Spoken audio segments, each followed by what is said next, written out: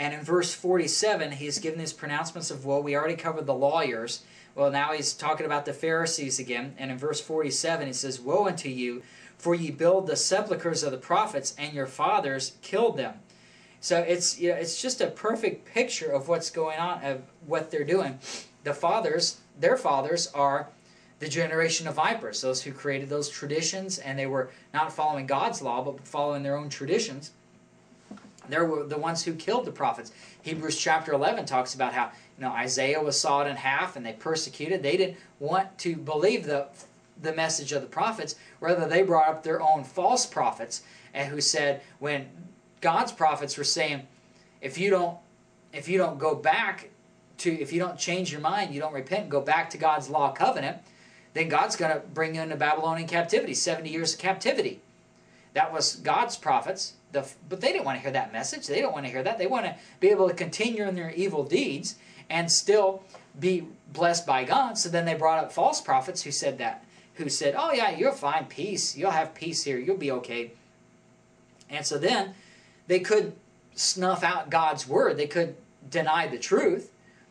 It's clear in God's law that the prophets were of God, what they were saying, because it goes along with the five cycles of chastisement in Leviticus 26. So what they do is, well, they just kill those prophets. But yet, you've got those religious leaders in Jesus' day, they build the sepulchres of the prophets. So it shows, really, they're, they act like they're honoring the prophets by building sepulchres, but it's just an outward show. It's They're not really honoring them because they're going to kill, they, they killed John the Baptist. They beheaded him. He was uh, greater, the greatest prophet so far because born of women, there was no prophet greater than John because of the message that he gave. And they killed him. And now they're going to kill the greatest prophet of them all, the, the Lord Jesus Christ. We saw there in um, chapter 11, verse 32 at the end, he says, Behold, a greater than Jonas is here. He's greater than that prophet Jonah, but yet they're going to kill him but yet it seems like they honor the prophet. So it's just showing you a great picture of what religion does. Religion tries to snuff out the truth of God's word and tries to kill the messenger, but then at the same time look good by honoring, you know, honoring their heritage, that type of thing. And it says there in verse 48, Truly ye bear witness that ye allowed the deeds of your fathers, for they indeed killed them, and ye build their sepulchres.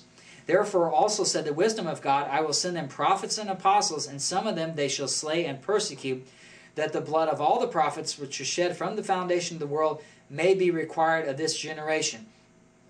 So this generation of vipers, they're the ones of Satan. Their father is the devil. They believe the lie program, but yet they appear to be, like Satan, he appears to be an angel of light. Even so, they're false ministers. Same thing as uh, Paul told the Corinthians about. Well, so too, these religious leaders appear to be on God's side, but they're not really. They're just they're on Satan's side, and so because the generation of vipers, all those following Satan, believing the lie program, they're the ones responsible for killing the prophets. In other words, the regular, you know, the Romans, for example, Pilate, he didn't have any problem with Jesus. He says, I find no fault in him. He didn't want Jesus to be killed. He figures, I mean, he might, might, might have thought that he's a nut, a nut job, nut case, but that's no no reason to kill somebody. Uh, I mean, a logical, rational person isn't going to kill somebody just because they they have some ideas you don't agree with. But if those ideas are really the truth of God's word, and you are of the generation of vipers, you're on the other side, you're of Satan, then you're going to try to kill them. And so the, the prophets and those religious, the, the people on God's side, are really killed by the people on Satan's side. And so that's why the blood of all the prophets which was shed from the foundation of the world, is put upon those religious leaders. It says there in verse 51 From the blood of Abel unto the blood of Zacharias, which perished between the altar and the temple, verily I say unto you, it shall be required of this generation, those generation of vipers. The reason it says Abel to Zacharias is that a Jewish Old Testament, while it contains the exact same books that our Gentile Old Testament does, it is in a different order. The first book is Genesis, like ours, but the last book is the Chronicles, which contains 1st and 2nd Chronicles. And so in a Jewish Old Testament, the first one killed was Abel. Genesis chapter 4, Cain killed his brother Abel. Cain was really the father of well, I don't know if you want to call him the father of religion because Adam uh, started religion with sewing fig leaves together, um, but he was he practiced religion and that he brought to God what God what he thought should be brought to God rather than what God required. So uh, religion is man's way of trying to get to God. So um, religion killed Abel. Cain killed Abel. Genesis chapter four, and then the last one in your Jewish Old Testament, the last one killed is in Second Chronicles chapter 24. That's Zechariah. So if we look over at uh, Second Chronicles chapter 24.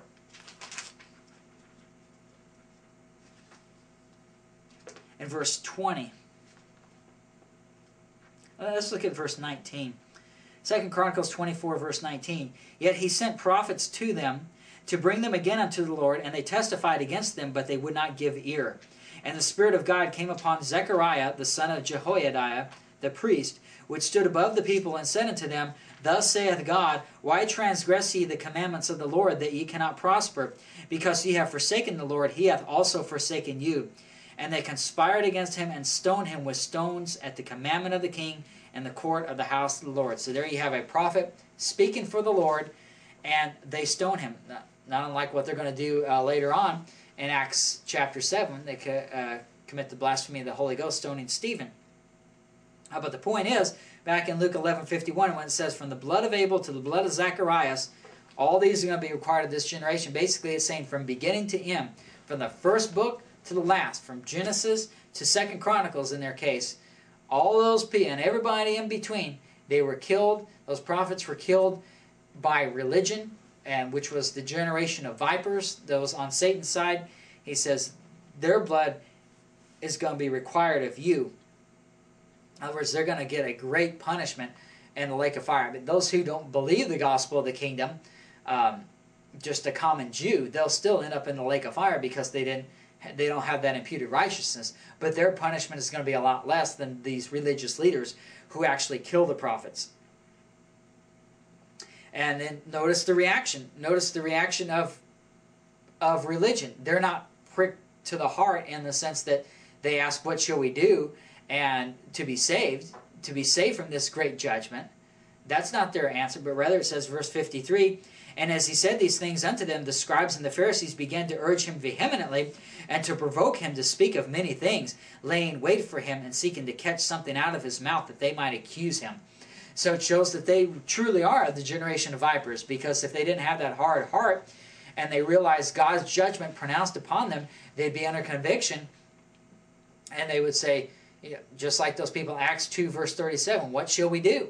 And then they would believe the gospel. But instead, they have the same reaction at the at stoning Stephen. When Stephen pronounced the judgment of God upon them through the through the Holy Ghost, then they then they put their ears to their, their hands to their ears and they ran toward him and started yelling and they just started gnashing on with their teeth. That shows the reaction of the generation of vipers. Not one of uh, changing their mind, willing to believe the gospel, but one of basically, let's get rid of this guy. And so they say, yeah, yeah, keep speaking. In other words, they had their tradition of the fathers and they were trying to find some way, somehow, where they could get some kind of loophole where Jesus would slip up and say something that they could say, ah, you're guilty of death just based on what you said, so now we're going to kill you.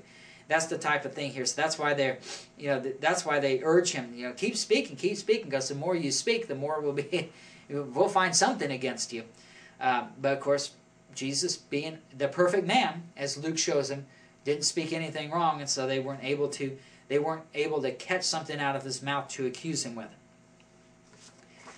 Okay, chapter 12 now, and we'll try to move kind of quickly through this, is basically the Pharisees have rejected him. They've committed the blasphemy of the Son of Man, and they're trying to catch him. They're trying to get him to where they can kill him. And so chapter 12 is all is basically Jesus' instructions to the little flock and to get away from that religious system and to be mindful of the things of God's kingdom instead, which is going to be particularly important because they'd be about to go through the tribulation period and they need to reject the mark of the beast and then also the antichrist is going to try to offer them riches uh, if they will join that religion. And uh, they need to forget about the, the riches of this world and focus on the riches of the kingdom, which they were received by trusting in the gospel and rejecting the religion uh, of the Pharisees, of the Antichrist.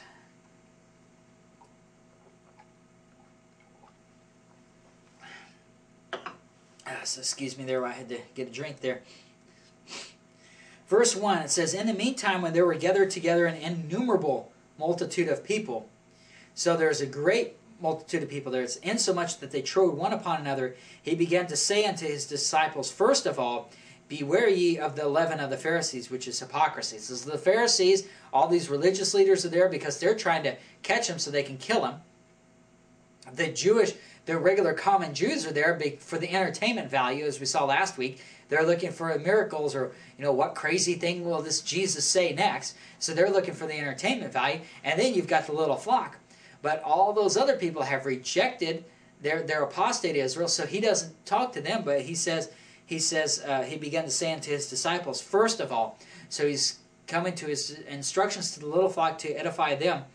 And the first thing is basically beware of that leaven of the Pharisees, which is hypocrisy. Leaven is a type of sin, and it's the leaven is where they've taken the law and they've thrown sin in with that tradition of the fathers, such that if you follow religion, you're not going to be following God's word.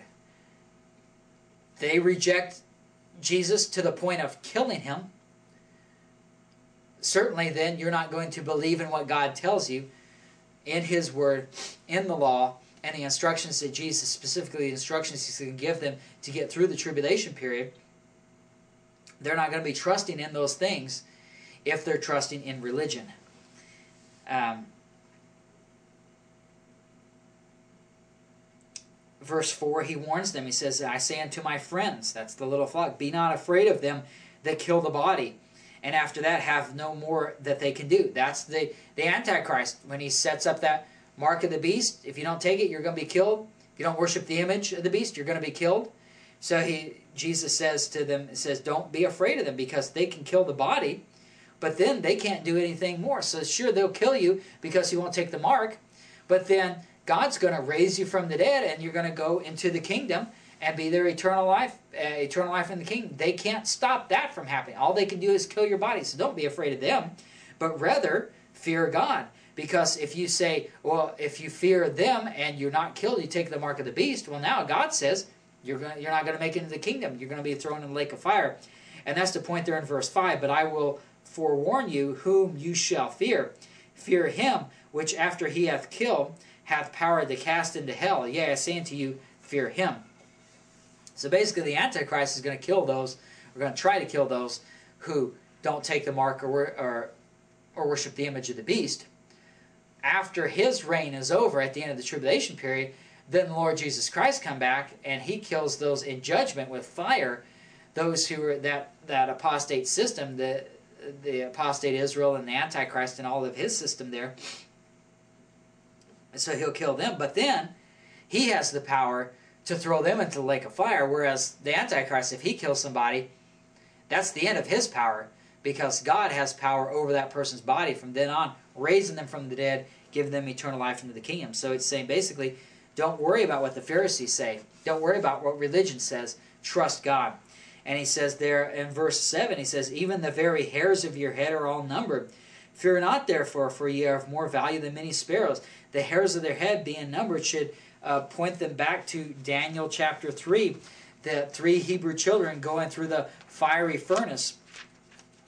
And um, that's a type there. Going through that fiery furnace is a type of the refiner's fire that the uh, that the nation of Israel goes through, which is the tribulation period, the seven years of tribulation period. And if they get through that fire, if they are precious stones, meaning if they believe the gospel of the kingdom and if they obey the law covenant, endure until the end, then they're going to survive that fire and they're going to be saved, just like the three Hebrew children in Daniel chapter 3 got through the fiery furnace. And it says in uh, Daniel chapter 3 here, uh, so they throw them into the fire, and when they're taken out, in verse 27 it says, Daniel 3.27, and the princes, governors, and captains, and the king's counselors, being gathered together, saw these men upon whose bodies the fire had no power, nor was a hair of their head singed, neither were their coats changed, nor the smell of fire had passed on them. So when Jesus says in Luke chapter 12, verse 7, even the very hairs of your head are all numbered, it should point them back to Daniel 3, where it says, not even a hair of their head singed. And the point that Jesus is making is that basically the Antichrist in the tribulation period may, if you don't take that mark of the beast, he kills you.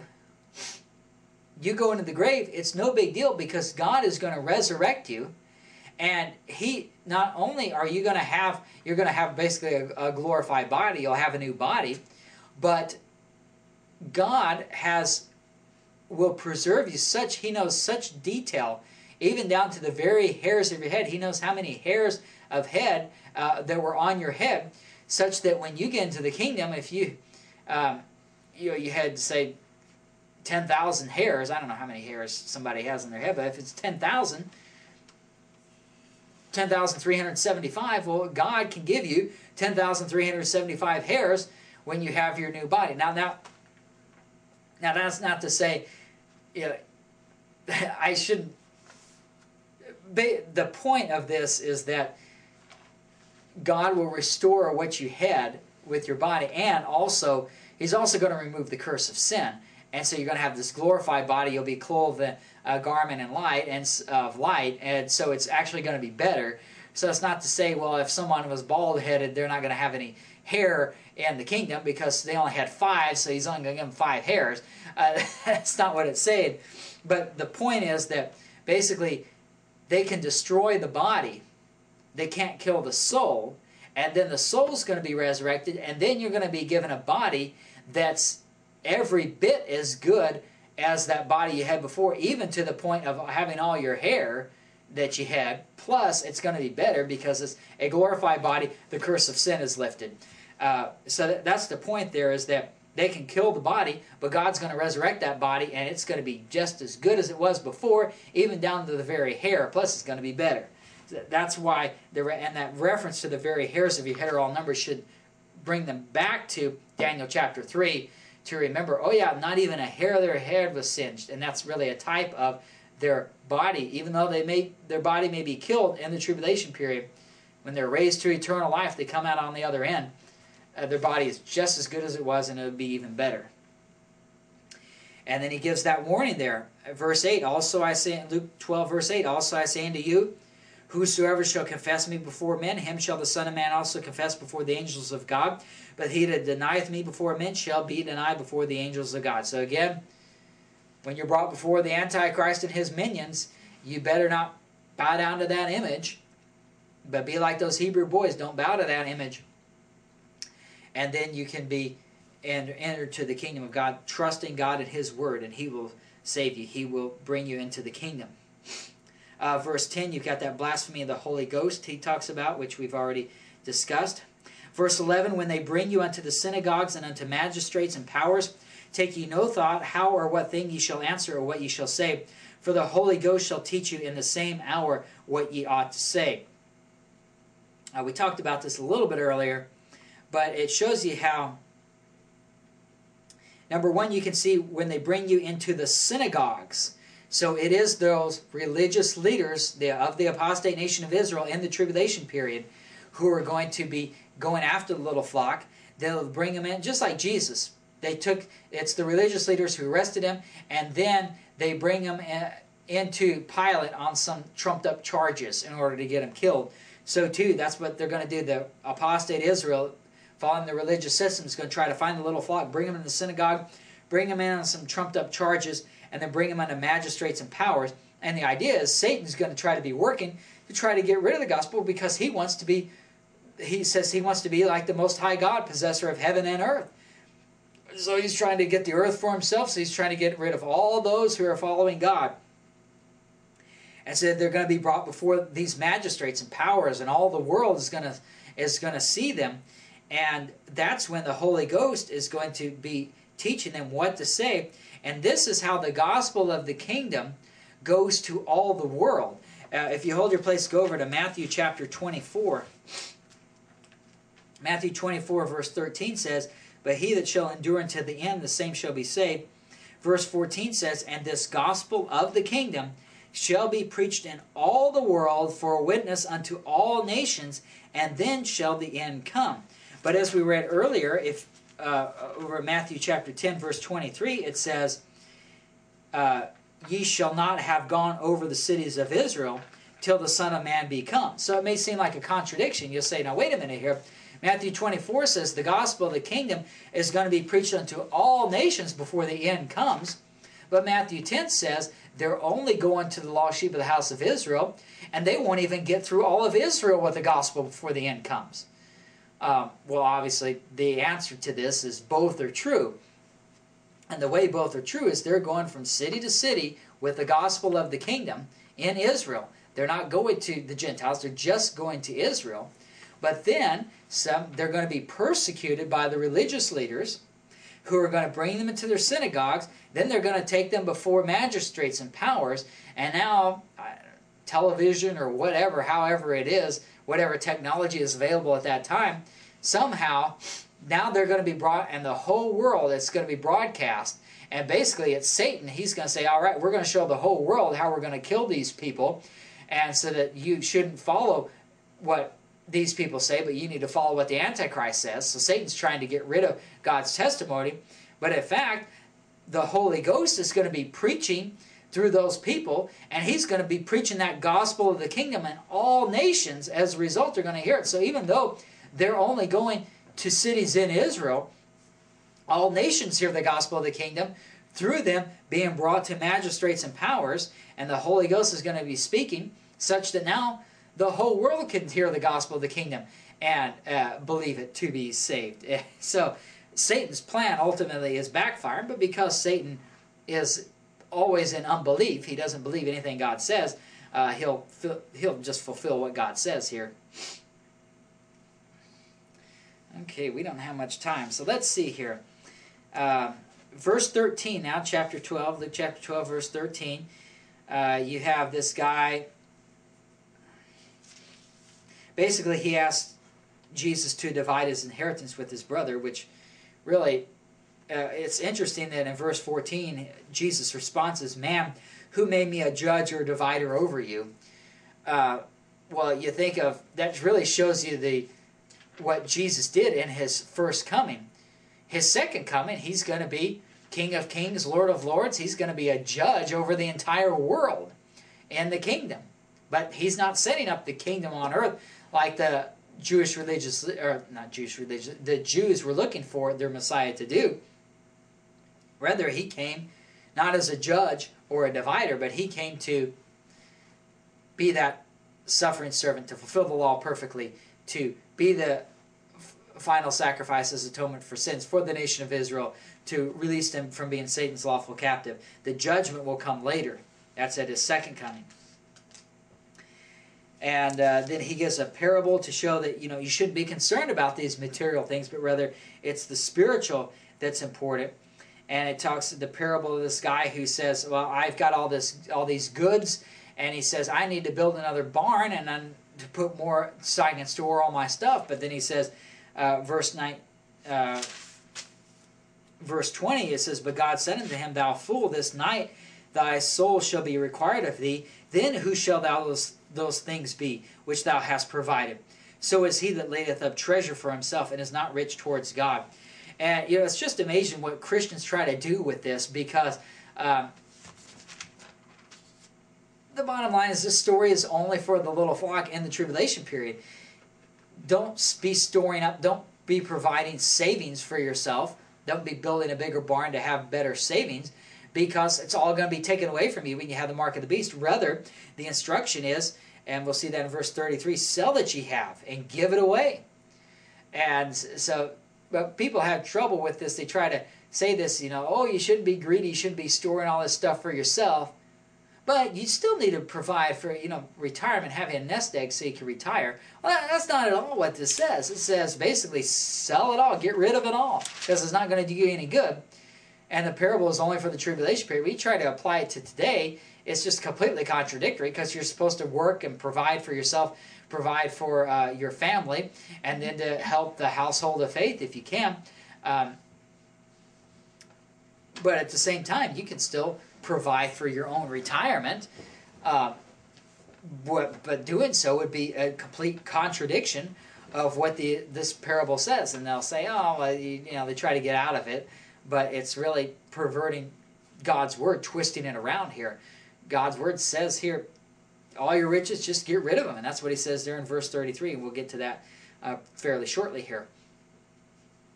Uh, and the idea here is in that tribulation period, the little flock, they shouldn't trust in possessions or they'll end up taking the mark of the beast, losing their salvation. And uh, if they don't do that, their possessions are going to be taken away from them anyway. So what good is it? Might as well go ahead and sell it and distribute according as people have need. And that's what we see them doing at the end of Acts chapter 4. And so he tells them here, Luke 12, verse 22, he said unto his disciples, Therefore I say unto you, take no thought for your life, what ye shall eat, neither for the body, what ye shall put on. The life is more than meat, and the body is more than raiment. And so he's telling them basically, trust in God's provision. And don't worry about the material stuff. If you trust in that, you're going to end up in trouble. So it goes on from there. Uh, and so therefore, you notice in verse 31, he says, But rather, seek ye the kingdom of God, and all these things shall be added unto you. So now, it doesn't mean they're going to get it in the tribulation period because they're going to have to fast. They're, they're going to be hungry. Um, but those things, the food and everything, the uh, prosperity is going to be added to them in the kingdom. So they seek the kingdom of God, then they'll be in the kingdom. And then they'll have the material things that they need in the kingdom. Plus, they'll be given a greater position of authority if they are seeking the kingdom of God because they're leading more of the lost sheep of the house of Israel uh, into the kingdom. Verse 32 Fear not, little flock, for it is your Father's good pleasure to give you the kingdom. That's where we get the term little flock. Those of the nation of Israel, they are the lost sheep of the house of Israel. They become the found sheep, and they in turn then are the little flock. That's in contrast to the nation as a whole. It's only a faithful, believing remnant. Only a, a small portion of the nation believes and is going to be entering into the kingdom. And it says, you know, don't worry about what the Antichrist is doing and how your possessions are taken away. It's it's your Father's good pleasure to give you the kingdom. You'll enter the kingdom. And so he says, as a result, there, sell that ye have. Verse 33 Sell that ye have and give alms. Provide yourselves ba bags which wax not old, a treasure in the heavens that faileth not, where no thief approacheth, neither moth corrupteth. For where your treasure is, there will your heart be also. If people are trying to tell you that you need to follow what Jesus says in the Gospels, this is a perfect verse to go to. And it says, sell that ye have. And people will say, oh, well, that's only if God calls you. It, doesn't, it doesn't say sell that you have if God calls you. You feel a, a burning in your bosom to sell what you have, then you should do it.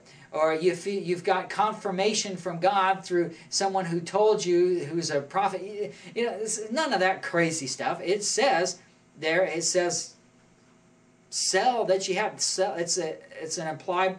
Uh, it's in the uh, imperative mode there. Uh, the implied you is the subject, and which makes it a command is sell that you have. In other words, everybody who is part of the little flock, everyone who believes the gospel of the kingdom, is commanded by the Lord Jesus Christ right there to sell what they have and give alms. That's that's their commandment. There's no getting around it. And so if you try to apply what Jesus says to you today, then whoever tells you to do that, you should say, well, why haven't you sold everything that you have? That's what Jesus commanded. That's what God's Word says in Luke 12, verse 33. And, of course, when we've gone over this, the reason is because their goods aren't going to do them any good because it says, you know, in verse 20, Thou fool, this night thy soul shall be required of thee. At the end of the tribulation period, God's going to be judging the people, and they're either going to go into the kingdom or they're going to go into outer darkness. They're not going to be part of the kingdom based on if they believe the gospel of the kingdom or not, and if they if they are trusting in their goods, they're trusting in their wealth, then they're going to end up being thrown in the lake of fire because they end up taking the mark of the beast and end up keeping their possessions. Therefore, why not go ahead and sell it and help the poor saints? It's not going to do you any good once the mark of the beast is put in place. So they're they're to sell what they have and give it away uh, to help others uh, while they can.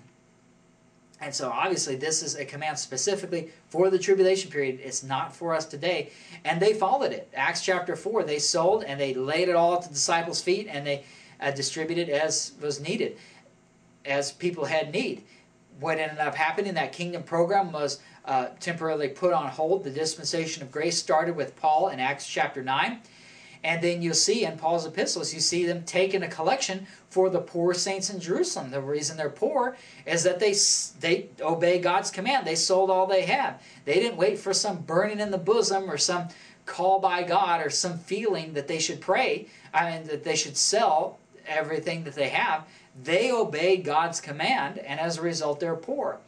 Well, that's not what should have happened. They should have became a kingdom of priests, and the kingdom should have started. But as a result, then that gives an opportunity for those in a dispensation of grace to show God's love toward them and to show others, the Gentiles around them, so they may be willing to accept that uh, gospel of grace as well by giving by taking a collection and giving it to those poor saints in Jerusalem. So they did obey that command, and it's not for us today because we're not going through the tribulation period. We're not in the kingdom program.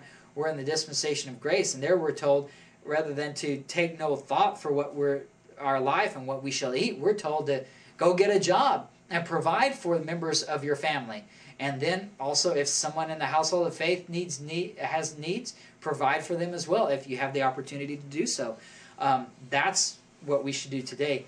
Um, we need to work, and because the, we don't have seven years until the end. Maybe we do. Maybe there's another couple thousand. We don't know how many years until the rapture takes place. Uh, so different commands for different dispensations. Okay, so then we go to the next story here. Uh, uh, basically, you have uh, a commandment to watch. In other words, continue to work. This par next parable is to continue to work for the Lord during the tribulation period. They don't know when He's going to come. Uh, it says in verse, now we are told in a different parable uh, in Matthew that we covered uh, Matthew chapter 14, if you hold your place and go over there, there are four watches in the night, at least in the Roman, uh, under the Romans, and that last watch, would, of course, would be the fourth watch. And that's when it, the night is a type of the tribulation period. It's, it signifies the tribulation period. And this uh, story here, what happens here in Matthew 14, the disciples are left alone in the night on the sea. And it says there, uh, Matthew 14, verse 25. And in the fourth watch of the night, Jesus went unto them walking on the sea. So it is at the end, the fourth watch being the last watch of the night, it's at the end of the night or at the end of the tribulation period when the Lord comes back, his second coming, to pour his wrath upon apostate Israel and the Antichrist, throw them in the lake of fire, and the false prophet as well, and to uh, to save his little flock, um, feed his, pick up his lambs, gather them in his arms, feed them, gently carry them in his bosom, lead them into the kingdom. That's when he's going to do it. But of course, when the watches are, are may not be so clear. So he says there in Luke chapter 12, going back, talking about those servants, they should be watching during the entire night, during the entire tribulation, because they don't know when he will come. In fact, if you uh, you can let go of Matthew and then go over to uh, First Peter you know, I'm thinking as I said it, I think it's Second Peter. Yes, it is Second Peter chapter three. It says there in Second Peter chapter three, verse nine. The Lord is not slack concerning his promise, in other words, his second coming, as some men count slackness, but is long suffering to usward, not willing that any should perish, but that all should come to repentance.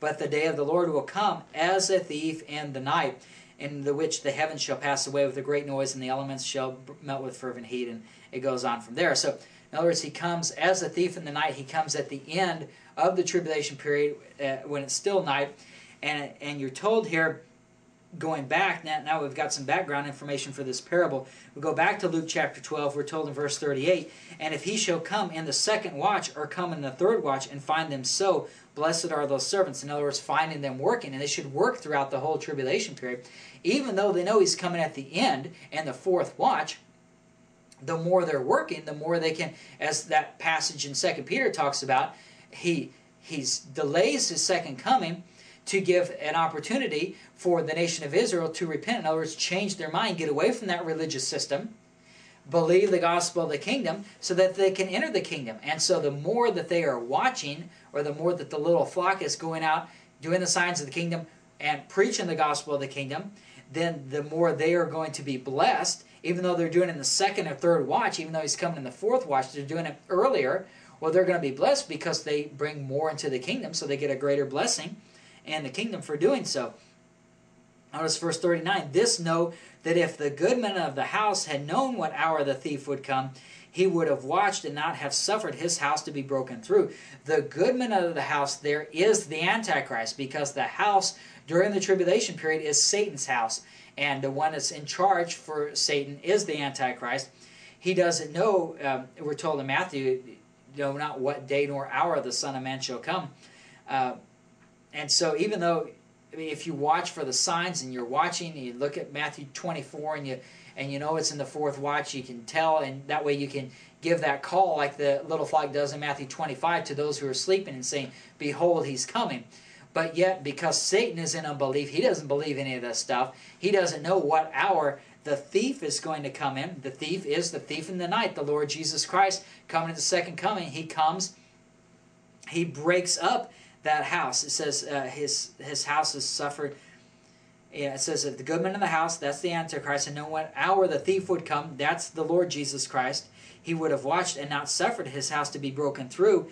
And so he breaks through and he takes the spoil. That's the little flock. He takes those who are, and that's all of Israel, I should say, who believes, all of saved Israel, the Israel of God, those who believe the gospel of the kingdom and are saved. They takes them, takes them out of Satan's house, takes them away to be uh, to go into the kingdom, uh, to God's kingdom.